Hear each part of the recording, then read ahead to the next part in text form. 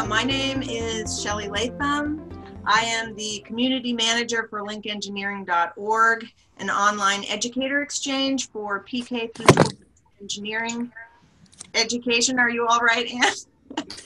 um, Link, Link Engineering is a project of the National Academy of Engineering with sponsorship from Chevron. And today I'm really excited to bring you a video conversation about defining STEM with Greg Pearson and Anne Jolly. Hi, guys. Um, Anne Jolly began her career as a lab scientist. She caught the science teaching bug and was recognized as an Alabama Teacher of the Year during her years as a middle grade science teacher. From 2007 to 2014, Anne was part of a National Science Foundation funded team that developed middle grades STEM curriculum modules and teacher professional development materials for the Mobile Area Education Foundation's Engaging Youth Through Engineering initiative. Anne has also teamed with science and math teachers to help them develop and implement their own STEM curriculum. Her book, STEM by Design Strategies and Activities for Grades 4 through 8, was published by Routledge Middleweb in July of 2016. Welcome, Anne. Um, Greg Pearson is a scholar with the National Academy of Engineering in Washington, D.C. Greg currently serves as the responsible staff officer for two National Science Foundation funded projects, one examining the status, role, and needs of engineering technology education in the United States, the other addressing issues related to capacity building for K 12 engineering educators. He also directs linkengineering.org. He's part of the team I work with. Um, previously, he has overseen projects addressing STEM integration in K 12 education, standards for K 12 engineering education, the status and prospects for engineering in K 12 education, new messaging for the field of engineering, and technology literacy and content standards for the field of technology education. Whew, so I can't really think of a better two people to talk to us today about um, what exactly STEM means. And it means different things to different people. And there is perhaps a little bit of confusion among various parties as to what exactly STEM education is or could be or should be. So Greg is going to start us out with um, a little background in how STEM came to be STEM and um, uh, tell us a little bit about his perspective from the National Academy of Engineering. Great. Thanks, Shelley. And uh, apologies first uh, because of my voice. Those of you who know me know that I don't normally sound this way. I have a cold and I'm a little croaky, but I will uh, do my best to, to uh, enunciate clearly. Um, and thanks for joining. Uh, I see a number of names that I recognize and uh, appreciate you taking time to listen to us today. Um, as Shelley said, the Academy of Engineering and actually the National Academies writ large have had an interest in STEM education for a long time. But um, like most of the education world and policy world for that matter, um, we as an institution until recently haven't been all that clear ourselves about what STEM really is. And to sort of put a point on it that relates to the focus of Link Engineering, which is engineering in K through 12, I was involved in a project that published a report uh, back in 2009 that examined the current, at that time, state of efforts to teach engineering in K through 12.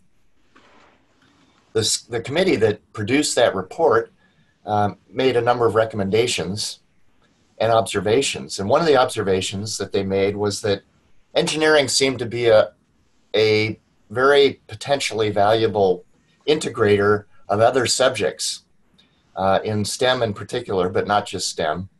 And that there ought to be some effort to look at um, what the research had to say about integrating the subjects of science, technology, engineering, and math because that committee said it seems quite confusing if you listen to the general public discussion or education discussion in terms of what STEM, when that acronym is thrown around, actually is.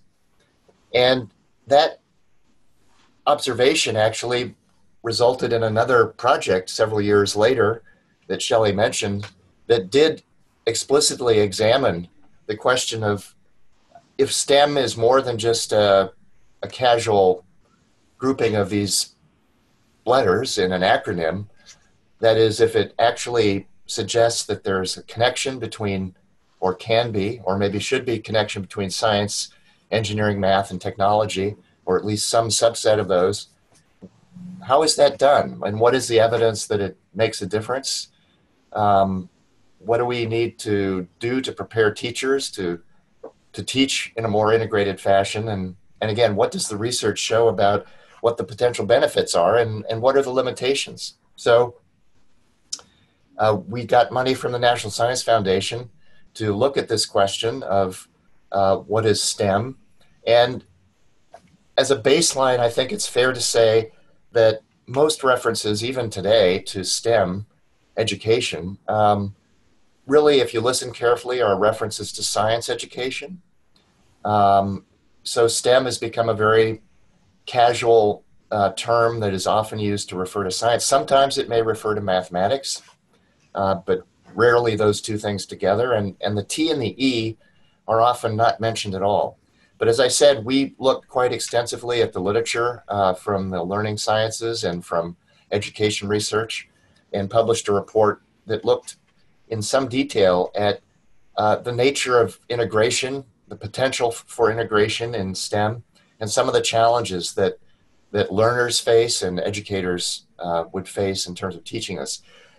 So that report is available on the National Academy's press website, but partly um, I think what we'd like to do now, rather than, of course, you you can always go and look at the report after this uh, conversation is through, but the committee prepared a short animated video that uh, summarized some of its findings and also tried to define STEM in, in this more integrated fashion.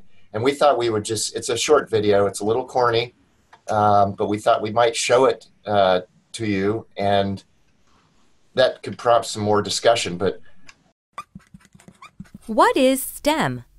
It's the acronym for Science, Technology, Engineering, and Mathematics, the disciplines that are vital for a thriving economy and a safe and healthy society.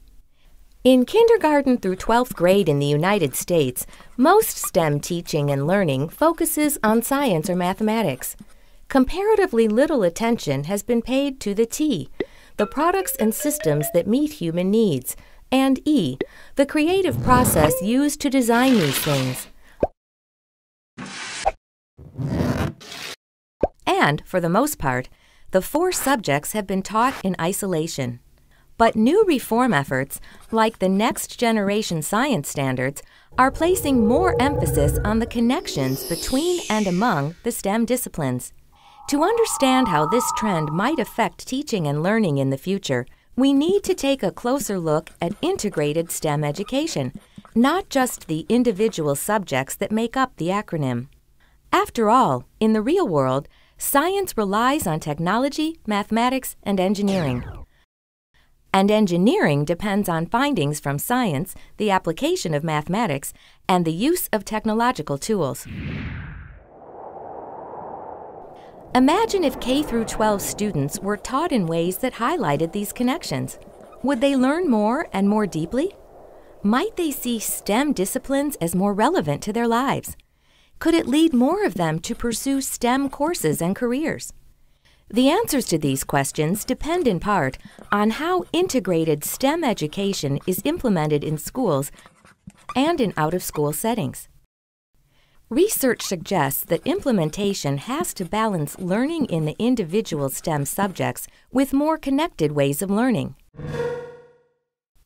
In addition, because it can be hard for students to make these connections themselves, teachers will need to make the connections explicit.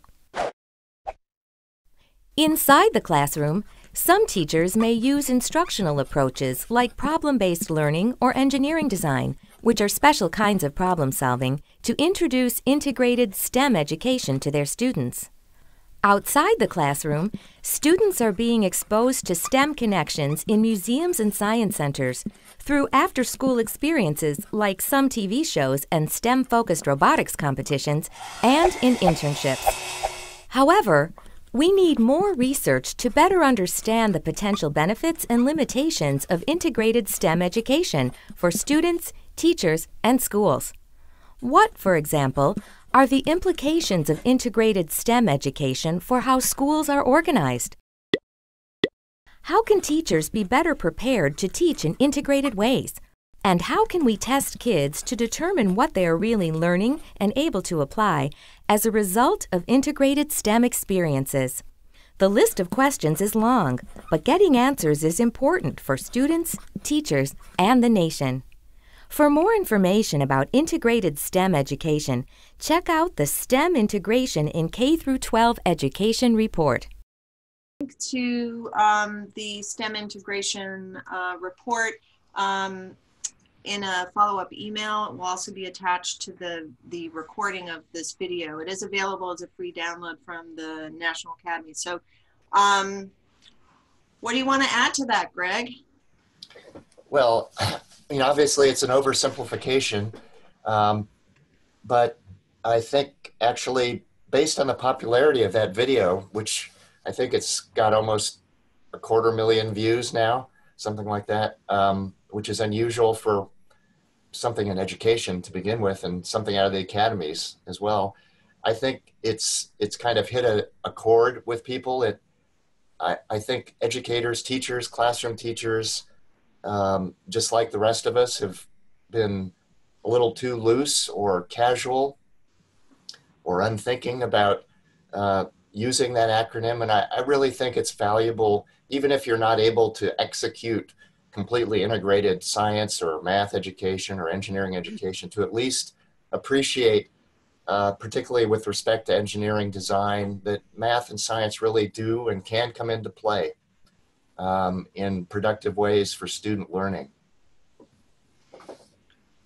Okay, Anne, I want to bring you in. We um, we do have a, a question that I'm gonna. I I'm Kevin will address that question because I think it's a good good question after we we hear a little bit from Anne. I'm on a small tablet in the Oh, hotel okay. room, and Right. so if I punch if I punch anything, it, it covers up the pictures and all. So Oh, now, okay, um, when we're uh, talking about STEM, when we first started this, I had some of the most unusual experiences with schools who who wanted to be declared STEM schools, and one of them, uh, school number one, for example, wanted to be recognized as a STEM middle school. So the principal added a computer program to its course of offering, along with algebra and biology. Now I ask you, is that a STEM school? I wish I could see your responses. Try this. Um, here's a school that identifies itself as a STEM school because it offers advanced placement courses uh, in, in math and in science. Does that make it a STEM school? No. In fact, I really, really ran into one that kind of took the cake. It said, one middle school said that they were a STEM school because they taught math and science already, and they've been doing that for years. what is it that makes a school a STEM school? So let's take a look, if we can, at some of the uh, things that you might ask yourself about your STEM program to see do we have a STEM school?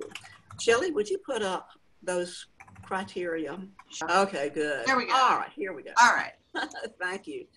All right. Here's one of the things that you would ask if you wanted to find out are we doing STEM? I noticed that some of you are, uh, somebody's with NASA and you are actually designing some of the STEM lessons that are up there. I visit NASA quite frequently as far as uh, looking at the websites.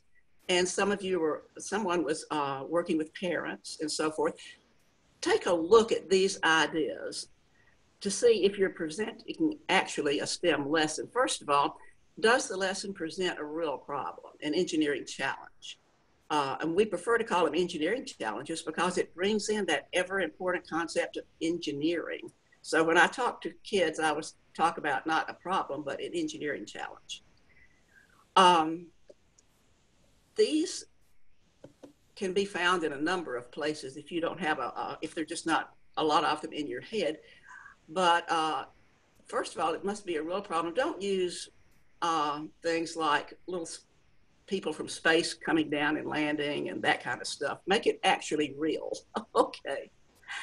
Now then, the second thing, will students relate to the problem? If you if they don't relate, then uh, it's not going to be a highly successful thing. Sometimes you may have to do some um, staging and set things up to get them engaged in the problem. You know, have a video or something or a, a talk with an expert or something to sort of let them see it as a real problem. Probably one of the best things you can do is let the kids identify some problems that uh, they could solve uh, in different ways. Number three, does the lesson allow for multiple acceptable and creative approaches for successfully solving the problem? This is one thing that would uh, separate this from some of the science experiments that I did when I was a science teacher, when I was in school, because I'd give them the approach to use, and everybody got the same outcome because there was only one, you know, desirable outcome for that particular experiment. Uh, a STEM lesson must allow for a number of acceptable approaches. And uh, the more creative, really, the better. Some can be kind of out of the box as long as they are within the realm of uh, possibility and, and, and make some kind of sense given the research the kids have done on this. Number four says, uh, does the lesson integrate and apply important science and math grade level content? Now, this is important.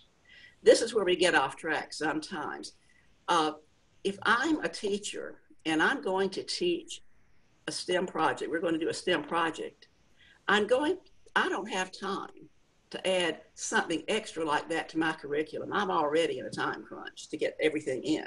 So I'm going to choose some math content and some science, with the help of the math teacher, by the way, and some important science content that kids are going to be learning, actually be learning that you're, and we're going to include that so that the STEM is at, the STEM lesson or um, project is, appli- is actually, excuse me, an application of that content. We want, this is one of the things that we've got to do is add more rigor to math and to science. We're not going to quit teaching math and science, but we're going to learn how to ratchet up the learning and the rigor by integrating those to, to solve some real world problems and show how those interact. And I've actually had students respond to me saying, you know, now I know why I learned about flow rate in math. So it really helps. Number five, does the lesson intentionally use the engineering design process as the approach to solve problems? The engineering design process is the key here. This whole, whole thing is about integrating math and science through engineering. You take the engineering out, and we've got nothing left. It takes the whole STEM apart. So the engineering design process is really important. Now, there are a lot of engineering design processes out there, but almost all of them have the same basic components.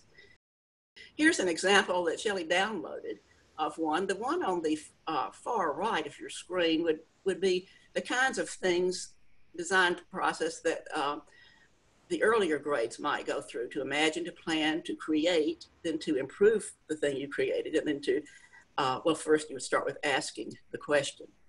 Uh, on the left, you have um, the upper grades one that is used sometimes. It's just a little more well developed, and you add a research step. You make sure that the kids research. It doesn't have to be uh, paper and pen research. Using a science experiment can be a great way to research some information you need for the project, for the STEM project. Uh, step three, develop possible solutions. Then you go on down, select the best possible one, construct a prototype, test and evaluate, communicate, and then redesign. That's a, a much needed step that sometimes doesn't get done because we run out of time. So, um, at any rate, that's the process that you follow because this is teaching the kids how to think in a particular way, like an engineer, but it also teaches them a way to solve problems that will carry over through any subject and you know through life. The next thing is the lesson actually using a hands-on teaching and learning approach. Standing and stand and deliver doesn't work at all in this. And so PBL is one type of learning approach that we use. Just be really sure that you don't think that because your school is using a PBL approach that you're teaching STEM. That's not the case. You, you focus on STEM, which is ratcheting up the rigor of the math and science using an engineering process and bringing in the technology, but do that in a, a manner that is like PBL. You can use a PBL approach to do that. Ask yourself, okay, now does this lesson lead me, lead the kids to actually design and develop something? If it just stops with them imagining and thinking, well, this might work, and then they write some kind of a report about it, then you haven't done STEM. You've gotten the first two or three steps in there, maybe. Uh, is the role of technology in the lesson clear to the students? Now, the technology does not have to be uh, digital, digital technology, although having kids use the latest digital technology and, and work with that is a good thing to do. Um, technology can also be brought in by having them understand how the technology, maybe the technology they're creating even, might impact the society or the uh, ecology or environment. You know, what impact does the te- do technological systems have? What are technological systems? Uh, what impact do they have? Uh, and recognize the role that technology plays in advancing science, and then just having them be able to make informed decisions about technology. And by the way, do understand the definition that STEM uses of technology, and that is um, technology is anything that is created for you know for the use of of humankind by humankind. That seems a, really oversimplified um, response to that, but it uh, is something I'm trying to think if that, well, anyway, a pencil is technology, something that has been invented or created by humans for the purpose of uh, meeting a need or a want.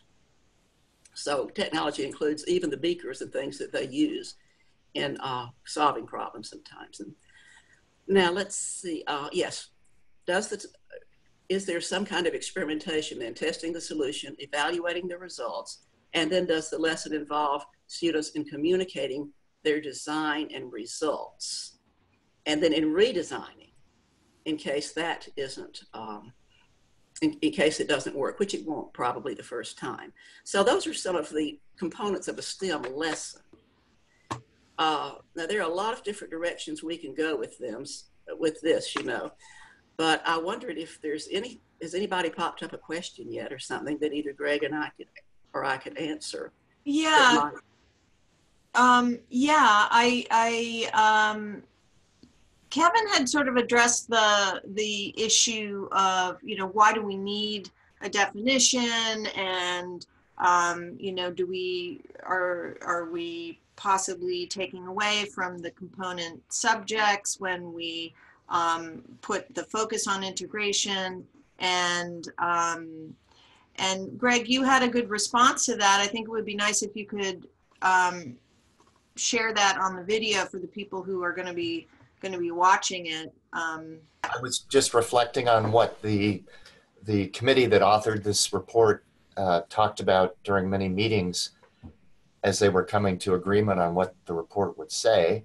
And there was a lot of discussion about definitions, whether a definition was even possible or desirable.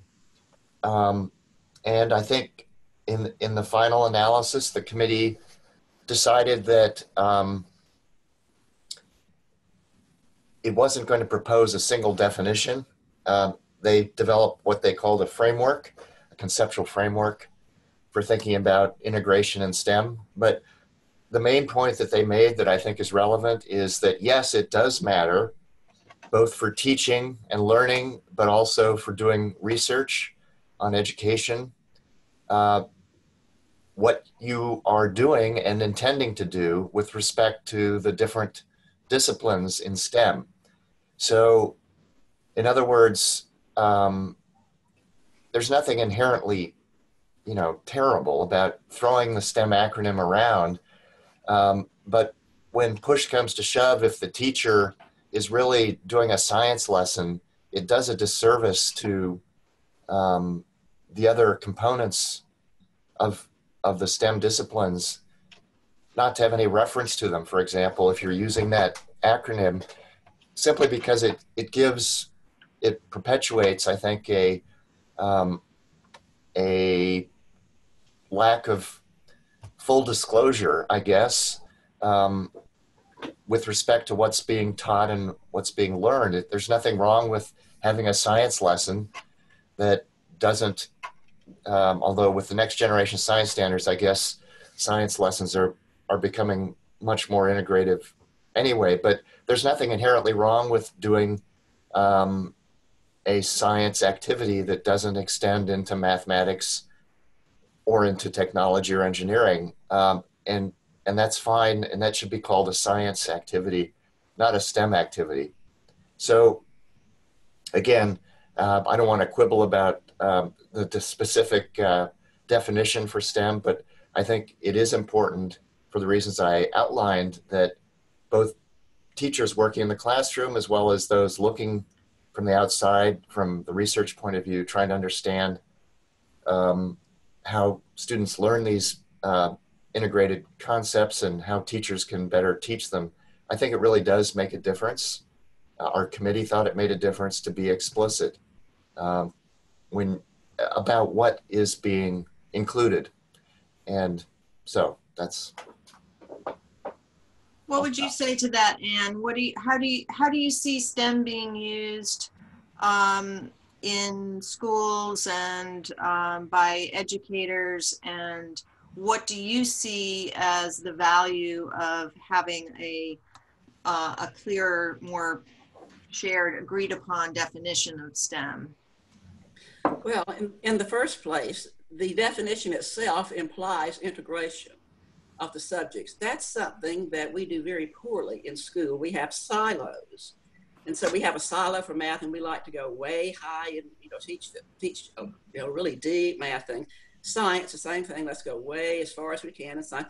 We never act like the two even go together. We never act like there's a purpose in learning these, and that's what I have discovered with middle school. And I would imagine it, it carries, and elementary, but I, and I imagine it carries through with high school, is that the kids get so excited when they find out there's a reason for learning math and science and that they do go together. We had a particular project in which kids were uh, building, um, or they were going to construct barriers to stop the flow of sediment uh, from a, a runoff. Uh, and of course, they were simulating all this in the classroom. Every every group and every team had their own um, setup because they all had different solutions. And uh, that's when these children would come to me. They said, "Oh, now I learn. Now I know why I needed to know how to calculate a flow rate. Now I know why I needed to know how to do these kinds of things because these are being used to solve a problem." I, we do such a disservice when we act like that we only have silos and, and things have no practical meaning outside those silos. And so I think that that's uh, a really important reason for identifying STEM, for identifying the engineering component as the connector, because you have to learn to engineer something with these systems that we're learning, math and science, and for letting the kids wrap their minds around that early on so that by, by the time they get to the workforce, they're used to thinking in the ways that they have to think to solve problems. That includes teamwork, for example, uh, being competent in a lot of different areas, critical thinking, teamwork, innovation, and all that comes to play in STEM. It does not necessarily come to play when you just go straight up vertical with your subjects and they don't meet and get together. And, and the final thing I have to say is that it does, we're, we're getting some test results back that indicate that it does actually ratchet up the degree of learning of math and of science. so that that's what we're really after more rigorous learning in those subjects. And we just have a better way of doing it. STEM is actually not a subject, it's a way of teaching. Mm. What do you see as being the greatest hurdle to this integration? Is it uh, teacher training? Is it uh, time? Is it um, support from administration, um, from parents? I don't know. You know. Tell me.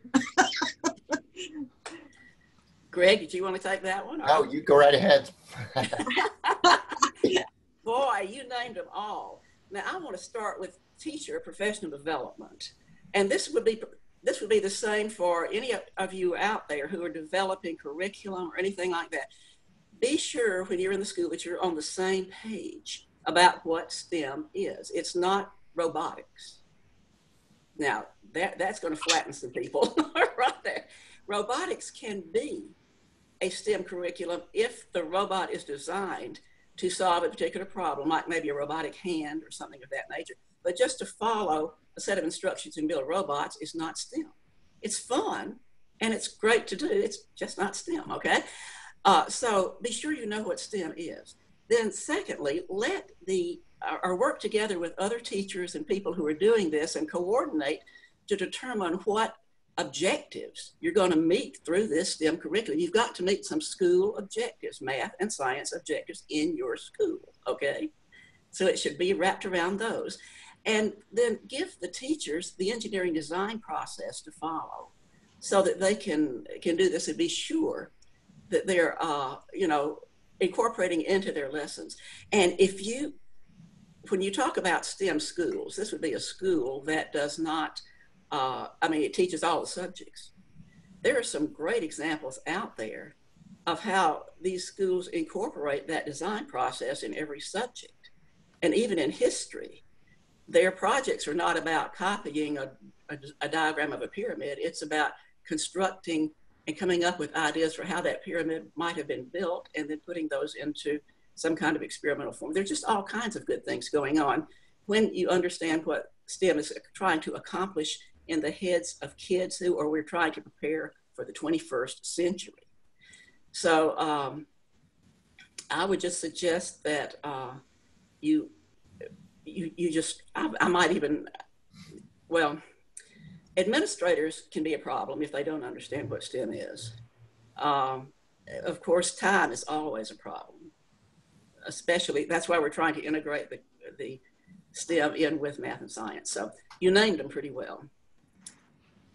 Greg, can you yeah. can you maybe tell us a little bit of what um, what the research so far has shown about the impact of integration, um, just in terms of outcome or in terms of engagement um, for students and teachers and school communities? Sure. Um, and this research is summarized in that report, as, as I mentioned. Um, and of course, there's been new research since that report has come out. That's the other thing to keep in mind. But um, maybe not surprisingly, but disappointingly, there's uh, relatively little evidence uh, that we can point to from uh, education research that documents um, improvements in learning above and beyond what might occur in a single subject classroom uh, due to integrative teaching efforts. And this is um, in part because um, it's very difficult to control, to do research in education and control for variables. Um, it also relates to just what we were talking about before, which is that um, researchers have not uh, much tried to use consistent framing of their views of what STEM is or integrative STEM is, and therefore it's very hard to compare uh, results from two or more studies of ostensibly the same phenomenon, but they're actually not the same because the, the research has been framed in a different way. And our report talks about that and makes recommendations um, and actually suggests that parts of the report, that framework I mentioned, could be used by researchers to use a more common uh, frame to uh, design research questions and carry out research. So um, that's the high level view. The, the, what everybody wants to know and what, what many people claim is that uh, science learning improves when uh, it's done in the context of integration. Typically, by the way, that integration is involving engineering design activities.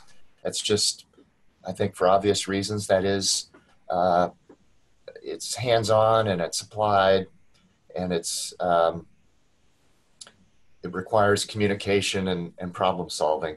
Uh, there is some evidence that science learning can can improve, uh, but it's not a slam dunk.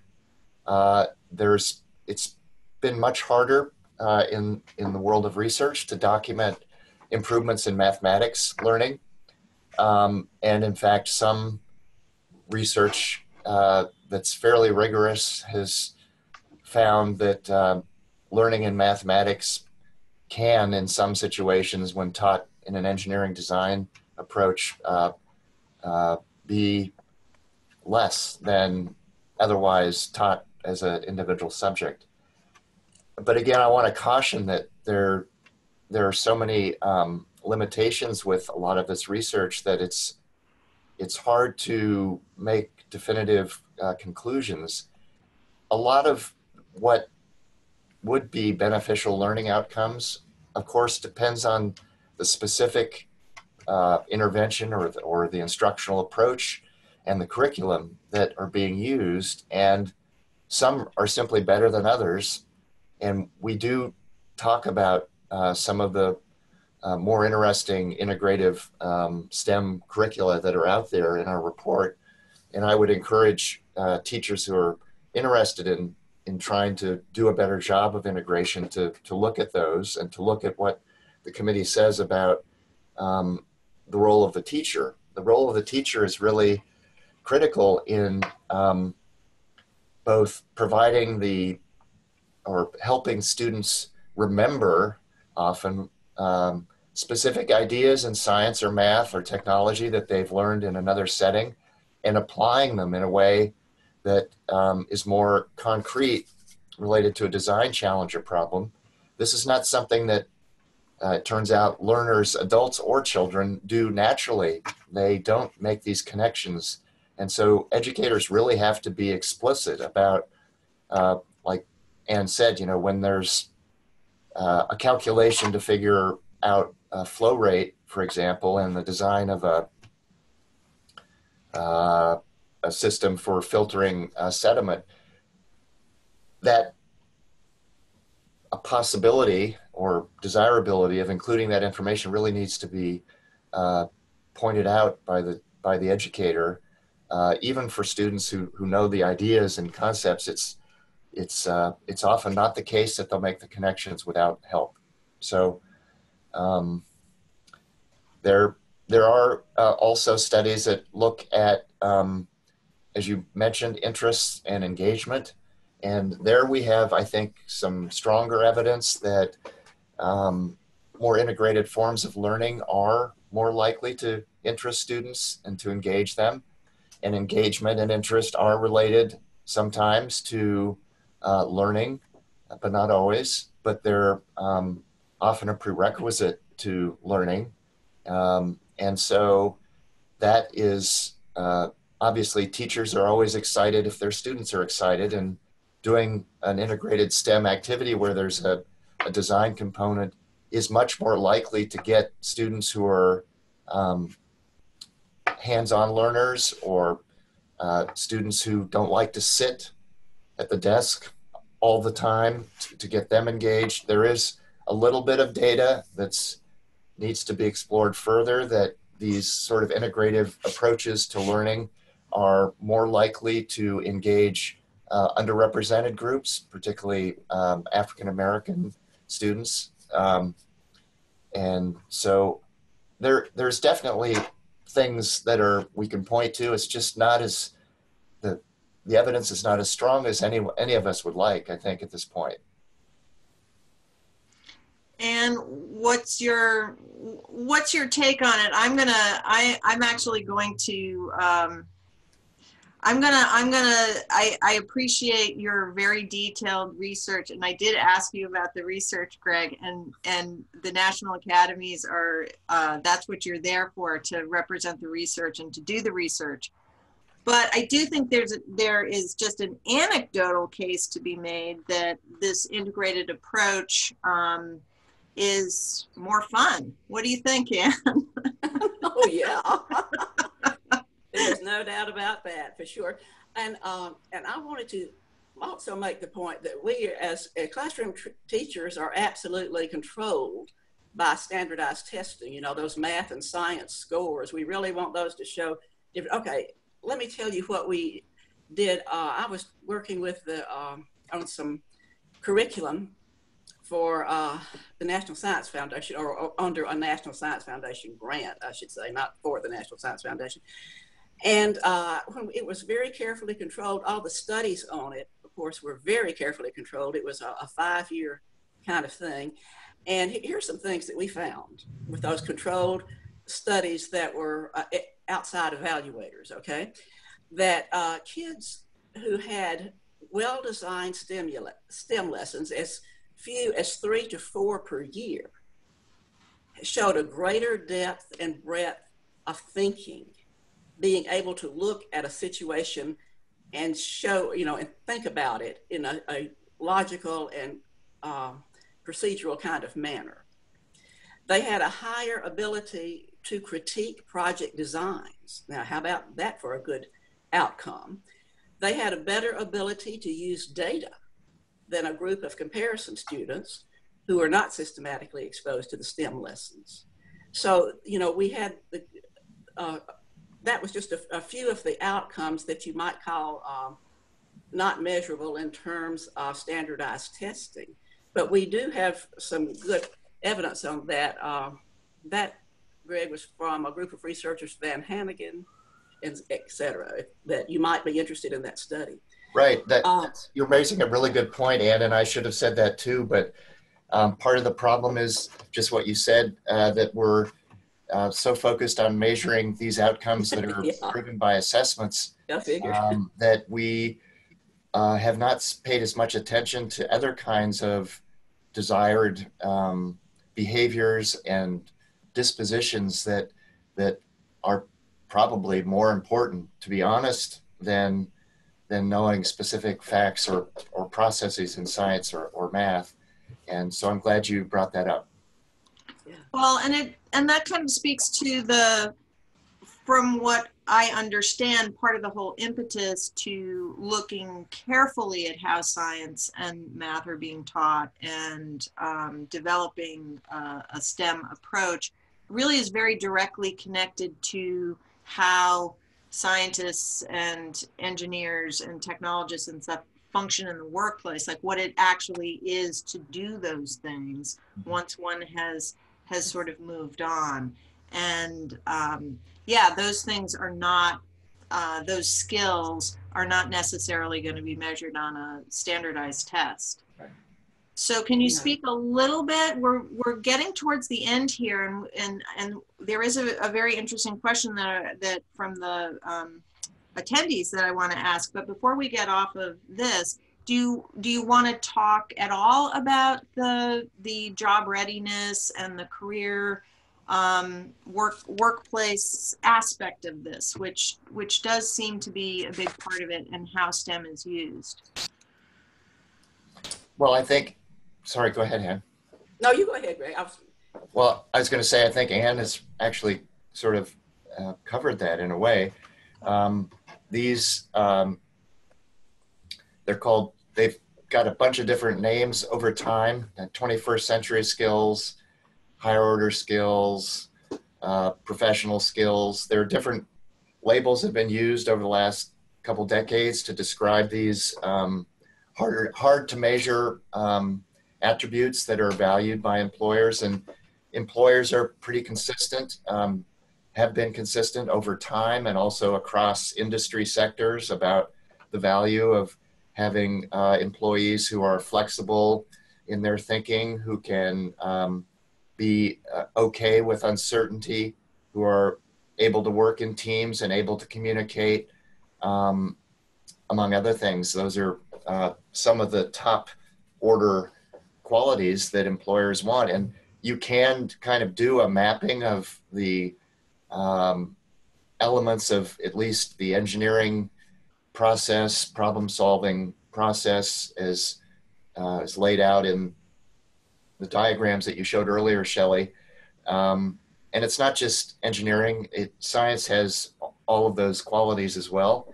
Um, and certainly the next generation science standards are doing a much better job of, of uh, having students be involved in things that are closer to uh, what would happen in, in the world of work and, um, and therefore are more likely probably to develop some of the skills and competencies that employers are looking for. So, um, I, the more relevant, the more connected, the more, um, yeah, the more relevant and connected and uh, interesting uh, the problems are for young people, the more likely these other um, higher order skills, professional skills are, are going to get nurtured. And you can also uh, measure to some degree uh, how, how well kids are acquiring those skills. That's one thing that we recommend as te- to teachers as you go along, you know, the kinds of assessments that you do, the formative assessments, you can gauge how well your kids are working in teams and how well they're self monitoring their work and what they think about that. You can gauge uh, how well they apply the knowledge in, you know, of math and, that they've learned in math and science. You can gauge how well they're using the engineering design process as they go along, which is a thinking process that they're learning. And you, one thing it really impacts is their skills, their attitudes, and their confidence. When they realize that they can solve problems, it makes their attitudes re- dramatically change uh, about different subjects. They go from not even wanting to go in the subject's classroom to not waiting, can hardly wait to get there. And don't forget about the diversity we have in this nation in terms of uh, people and uh, uh abilities and the different types of abilities and things of that nature. STEM is a great place for kids to come together with, you know, even kids who have challenges and so forth and work successfully to accomplish things and t- so that they feel good about what they've done and they've actually played a, had a contributing role. And it's certainly a great place for minorities for girls for people like that that have been traditionally underrepresented in those uh, uh, vocations to gain speed and to come aboard with that that was great. Um, we did have a question that I want to get to, which is how do you guys feel about adding letters to STEM? The, the most the most uh, popular one is obviously STEAM, uh, with the addition of um, art. Um, although I was at a conference where they their A stood for architecture, which I thought was very interesting. So I think I think as the letters get added, um, they seem to be added by people who have a strong reason to want to add them. So what do you what do you think about additional letters? Well, I mean, I think it's just what you said um, that people uh, in a particular area um, that feel ignored or neglected, um, but know that their subject matter is very relevant and interesting, want to find ways to make that point. And um, I certainly understand that. And I personally have no objection to STEAM. There's also STEM with two M's, with one of the M's being medicine. Mm-hmm. Um, there, you know, as long as you want, as I think I said before, as I think as long as one is being clear about the use of the term and what you intend by it, uh, that's the most important thing to me. Uh, to not use these acronyms as casually as they typically been used. Um, if you really want to advance um, education in these areas that are more connected in a connected way, you really do have to be um, clear about what you mean and tell others what you mean and then try to practice what you preach. So there's plenty of art in engineering, as most of you probably know, and um, there's lots of history in science and there's history in engineering. Somebody asked earlier uh, in the chat window about you know including ethics and social studies, and absolutely there are um, design challenges, for example, in engineering that that surface the need to think about culture and society and ethical issues as as in fact almost every engineering challenge and solution should. Um, so i think it's a rich a rich area. That's my personal view that uh, it's artificial to put barriers around four letters. I mean they're accidental uh, to begin with in a sense. They came about through some um, sort of arbitrary writings of a couple of NSF program officers back in the 90s, is my understanding. And um, but there is a logic to it. You know, I'm not saying they're they're not they shouldn't be together. There is a logic to thinking about these subjects together, but I think it is also logical to think about art in and other of the social sciences. What's your take on it, Anne? Well, have you ever taught something to students without drawing a sketch as you were doing that? You know, that's art. You're drawing sketches. We're asking kids to sketch uh, their their their thinking and so forth, and present it to. Art is automatically included. We ask people, you know, after they can, after a product is invented, then we got to have we need some way to make it beautiful, make it. Uh, engineers are not lacking in skills uh, as far as you know design skills and uh, as far as art is concerned. But i do think that the art you know has some kind of um, ability to help generate creativity. But it, it can't be just artificially thrown in there so oh we've got to do art with this. Well why? What purpose will the art serve in this project? Then it can be incorporated. Maybe it won't serve any in one particular project that you can see, although I don't know how you, you can't get through any kind of lessons without some kind of pictures, art, or whatever, you know. but um, if you're asking if we should have art taught specifically, uh, in every STEM project, we've got to include art, we've got to include social studies. No, no, no, no, no. STEM actually, it's making strong connections between math and science and uh, in a well thought out intentional approach. And to the extent that other subjects are brought into that then that's very important. We certainly need a lot of language arts skills and maybe even some speech skills and so forth during the communications phase. So everything works together. Let's just don't decide that well since everything works together we're just going to spread everything out equally put equal focus on everything in a STEM project. No, we've got to keep STEM, the STEM focus and the STEM purpose as the main driver, and then naturally incorporate the other subjects, I think. Well, I think that's probably a really great place to end it with STEM representing the great integration of all that all ways of seeing and being and communicating uh, and working together uh, to solve problems. Um, I'm going to share the screen for just a second before we say our goodbyes to tell you about our next program coming up. Uh, this is next Thursday, November 1st. We have family engagement in pre-K through 12 engineering education with Linda Kekelis and Tara Chklovski. Um, this is going to be a, a, fun conversation about how important families are to STEM education and all the different ways that you can um, bring families into that process um, and get some wonderful results as well.